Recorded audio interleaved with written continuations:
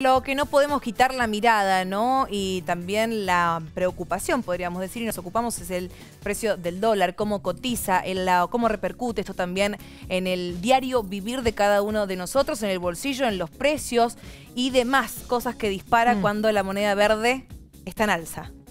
Luego de tres días en baja, la divisa norteamericana vuelve a subir. Ahora 44 centavos en toda la República Argentina. En un ratito le vamos a dar la cotización aquí en la provincia de Mendoza, pero vuelve a operar por encima de los 38 pesos cuando venía en baja. Estábamos hablando a principio de la mañana un dólar 37,60, 37,70. El billete cotiza 38,25 en bancos y agencias de la City porteña. Según el promedio, dado a conocer hoy en las principales casas de cambio.